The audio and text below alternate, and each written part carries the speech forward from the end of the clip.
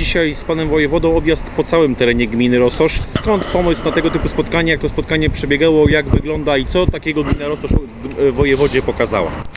To spotkanie wynika z tego, że w ramach e, Polskiego Ładu gmina Rososz dostała duże pieniądze na inwestycje. Dziękujemy panu wojewodzie, że tak liczne inwestycje z takim dużym nakładem możemy przeprowadzić. W tym momencie znajdujemy się na moście. To jest most na drodze gminnej w Rososzu, ulica Szelest. Most, który ma poszycie drewniane. To poszycie trzeba co 5-7 lat remontować. Czekaliśmy długo, żeby zrobić taki remont generalny, przebudowę i nareszcie się doczekaliśmy. Będzie to teraz most taki z prawdziwego zdarzenia. Na tą inwestycję dostaliśmy 3,5 miliona złotych. To nie jedyna inwestycja. E, Dostaliśmy też pieniądze na budowę mieszkań e, komunalnych. To ma być 15 mieszkań komunalnych, 5 mieszkań 40-metrowych, 5 55-metrowych i 5 70-metrowych.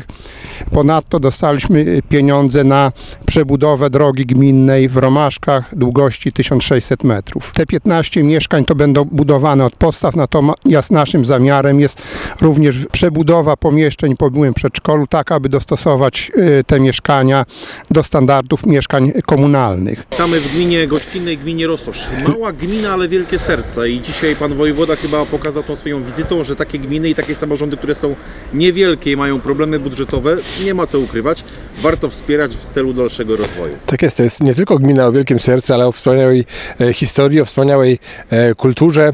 E, gmina położona w urokliwym miejscu, lasy, jak widzimy tutaj za nami rzeki i właśnie te e, inwestycje, które są e, skorelowane tak naprawdę z potrzebami mieszkańców, to bardzo istotna e, część działania e, administracji, w tym wypadku administracji rządowej, na wniosek samorządu e, gminnego, gminy Rososz, e, pięknej gminy, jak e, pan redaktor zaznaczył. Bardzo się cieszę, bo to jest moja sąsiednia gmina, powiedzmy sobie szczerze, e, bratnia e, gmina, chociaż w innych e, różnych powiatach, ale widzimy jakie są potrzeby konkretne. E, tutaj stoimy na moście, którego tak naprawdę najstarsi mieszkańcy nie pamiętają, kiedy był budowany od podstaw, a widać, że potrzebuje e, znaczn- znacznych nakładów finansowych. Będzie w tym miejscu po prostu nowy most wybudowany e, w ramach e, dofinansowania z Polskiego Ładu, z pierwszego, pierwszego tak naprawdę naboru, na którym gmina Rososz skorzystała, bo zarówno ten most z odcinkiem drogowym, jak i odcinek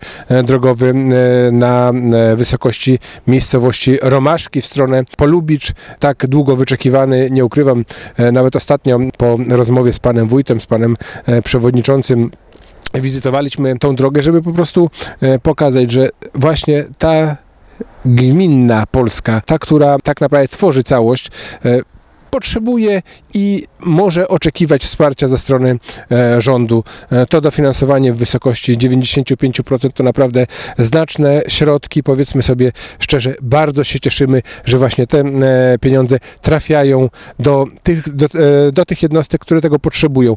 A powiedzmy sobie wprost, samorząd gminny jako ta najbliższa jednostka służąca mieszkańców na to zasługuje i bardzo się cieszę, że właśnie tutaj w gminie Rososz w pięknym e, powiecie bialskim tak znaczne środki trafiają do e, ludzi. Powiedzmy sobie szczerze, ponad 160 milionów w tym rozdaniu Polskiego Ładu to są znaczne dofinansowania, w dużej części przeznaczone na infrastrukturę zarówno drogową, infrastrukturę wodno-kanalizacyjną. Chcemy e, te zapóźnienia niwelować, chcemy być dumni, że jesteśmy e, mieszkańcami tego wspaniałego regionu. Dlaczego akurat Kościół pokazaliśmy e, w Rososzu?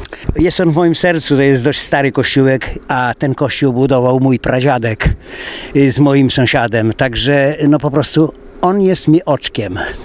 I jak się dowiedziałem, że będzie remontowany, to po prostu przyklasnąłem. Y, Wszyscy znajomi, okolica, y, sąsiedzi, wszyscy chcieli tego samego co ja. Także nic tu nie jest drożnego, jak powiem, że jest to dla nas ewenement. To jest historyczna, po prostu historyczna chwila. Drewniany, drewniany pozostanie, kościół pod świętego Stanisława, biskupa Męczennika, także okej, piękny jest zabytek, trzeba go historycznie naprawdę wskrzeszać, tak jakby. W pobliżu kościoła jest ten skwer, ostatnio został y, na moją prośbę odnowiony lekko, tak by go przypomnieć, bo to przecież mój dziadek y, ten pomniczek w 10. rocznicę odzyskania niepodległości tam postawił. To dzisiaj były tam składane wieńce. Tak, dzisiaj były tam składane wieńce i bardzo się cieszę, że to jest właściwie prawie jedyne miejsce u nas w Rososzu, które skupia właśnie historyczne momenty, chwile. Jest radny powiatowy Mateusz Majewski, jego zasługą nie- niemałą jest to wszystko, co się teraz u nas dzieje, on jest, po prostu podpowiada nam. Chodzi, chodziło nam zawsze o finanse, które dzisiaj mamy i właśnie chcie, chcemy w jak najbardziej solidny sposób wydać tą złotówkę, żeby się nic nam nie zmarnowało. Do tego jeszcze nie było. My rozporządzamy w ciągu roku, gmina rozporządza rzędu 10 milionami złotych, a my teraz mamy ponad to. Także proszę Państwa, proszę nas zrozumieć, jak my możemy się nie cieszyć z, takiego, z takiej sytuacji. To jest po prostu strzał w dwunastkę nawet